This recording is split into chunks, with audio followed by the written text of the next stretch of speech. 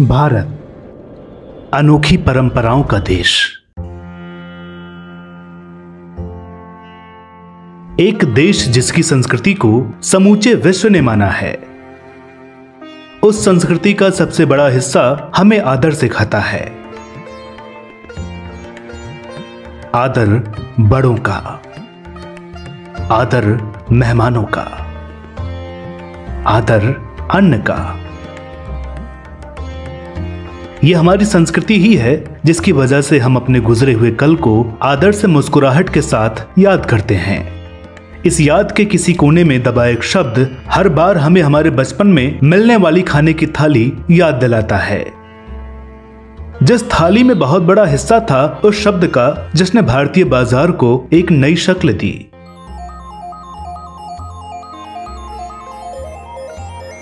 वो शब्द जो आगे चलकर ब्रांड बना। वो ब्रांड जिसने कई विवादों को झूठा साबित कर हर भारतीय की यादों में जगह बनाई।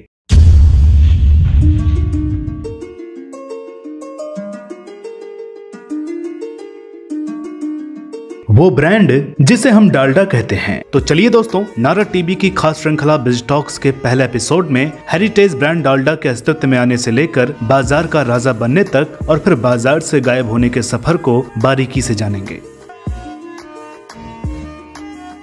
हम जानेंगे किस तरह वनस्पति घी का एक ब्रांड डालडा उसका ही एक पर्याय बन गया।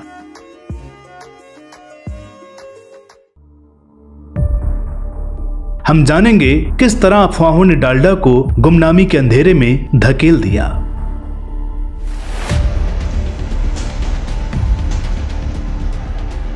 हम जानेंगे किस तरह डालडा आज भी अपने अस्तित्व की लड़ाई लड़ रहा है, लेकिन इन सबसे पहले हम इस कहानी की शुरुआत करेंगे। कहाँ से आया डालडा शब्द? दोस्तों, आज भले ही डालडा शब्द की हमारे दिल में एक अलग छाप है, मगर इस शब्द के अस्तित्व में आने की कहानी बड़ी अनूठी है, जिसकी शुरुआत साल 1930 में होती है।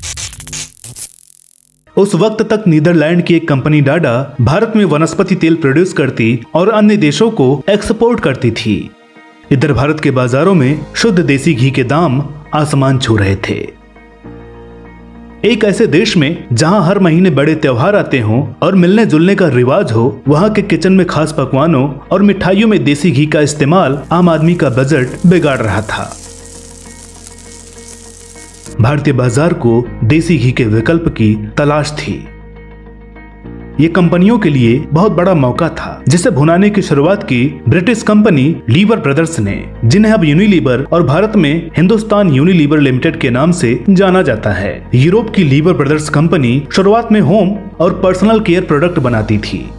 बीसवीं सदी की शुरुआत से ही लीवर ब्रदर्स फ़ूड प्रोडक्ट के क्षेत्र में प्रवेश कर चुकी थी। यही वजह रही कि उन्होंने भारत में वनस्पति घी के उत्पादन की योजना को ज़मीन पर उतारा, जिसका पहला कदम 1931 में हिंदुस्तान वनस्पति मैन्युफैक्चरिंग कंपनी की स्थापना के रूप में पड़ा, जबकि दूसरा और बड़ा मज़बूत कदम अगले साल 1932 में मुंबई में वनस्पति घी उत्पादन फैक्ट्री के साथ जमा। लीवर ब्रदर्स ने भारत में वनस्पति घी के लिए नींव रख दी थी। लेकिन इस कहानी में बड़ा मोड़ तब आया जब लीवर ब्रदर्स ने भारत में डाडा के अधिकार हासिल कर लिए। मगर अभी एक ट्विस्ट और था। डाडा को लीवर ब्रदर्स के हाथों बेचते वक्त ये शर्त रखी गई कि प्रोडक्ट का नाम डाडा ही रहेगा और कभी बदला नहीं जाएगा। मगर लीवर ब्रदर्स का मानना था कि उत्पाद पर कहीं न कहीं तो मालिक कंपनी का ठप्पा होना ही चाहिए। ऐसे में बाज़ार और ग्राहक की पैनी समझ रखने वाली लीवर ब्रदर्स ने एक अनोखा रास्ता खोजा।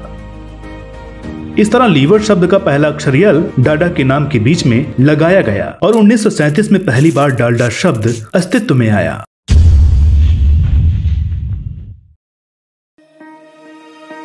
क्या अंतर था डालडा के वनस्पति घी और शुद्ध देसी घी में?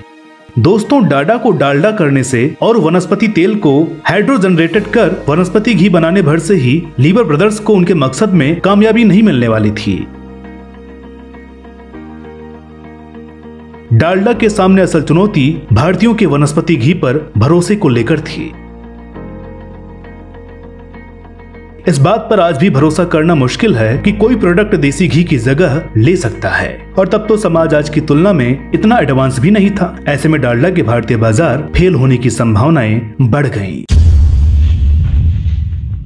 मगर लीवर ब्रदर्स हार मानने वाले नहीं थे। डालडा की मैन्युफैक्चरिंग पर काम किया गया। उसे दानेदार, सुगंधित और एक अलग स्वाद वाला बनाया गया। हालाँकि अभी डालडा देसी घी के मुकाबले में कई गुणों में पीछे था, मगर डालडा की बहुत सी खूबियों ने उसे मार्केट में बनाए रखा। इतना सब होने के बाद डालडा के सामने अलग समस्या ये थी कि डालडा को घर घर तक कैसे पहुँचाया जाए। तब डालडा के लिए संकट मोचक बनकर लीवर की विज्ञापन एजेंसी लिंटास सामने आई। इतिहास का सबसे बड़ा विज्ञापन अभियान।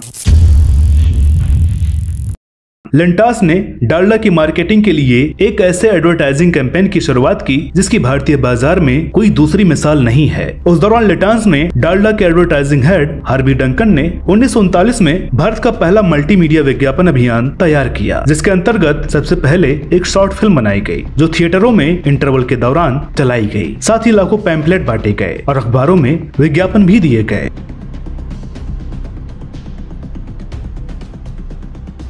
मगर ये सभी एडवर्टाइजमेंट समाज के पढ़े लिखे तबके तक ही सीमित थे।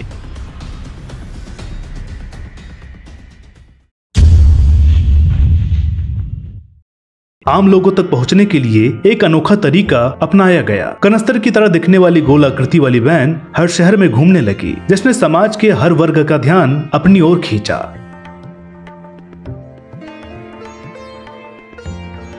इसके अलावा कई स्टॉल लगाए गए, जहाँ ग्राहकों को डालडा घी छूने, चखने और सूंघने की इजाज़त दी गई। दूसरी तरफ़ डालडा केवल अपने विज्ञापन अभियान पर निर्भर नहीं था। बाज़ार के हिसाब से भी डालडा ने खुद को ढालने में कोई कसर नहीं छोड़ी। दुकानों पर मिलने वाला डालडा का पीले रंग का टिन का डिब्बा ग्राहकों को बहुत पसंद आया। बाकी कमाल डिब्बे पर खजूर के हरे रंग के पेड़ वाले लोगों ने कर दिया था। लीवर ने अपने डिस्ट्रीब्यूटर नेटवर्क के ज़रिए इन टिन के डिब्बों को देश के हर हिस्से में भिजवाया।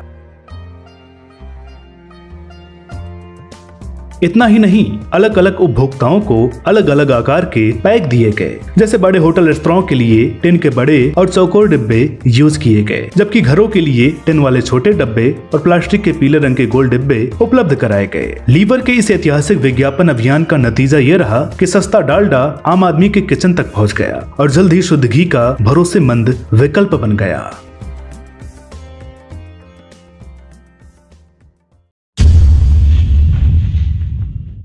जब लोकसभा में डालडा बना बहस का मुद्दा।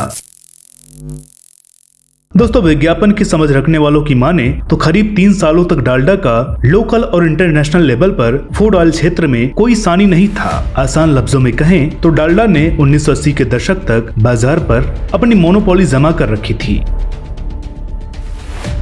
मगर ये सफ़र इतना आसान नहीं था जितना दिखाई देता है। इस लंबे सफ़र में डालडा को कई बार आरोप झेलने पड़े। उसे कोर्ट तक ले जाया गया। बैन करने की बात होने लगी और हद तो तब हुई जब डालडा लोकसभा में बहस की वजह बन गया।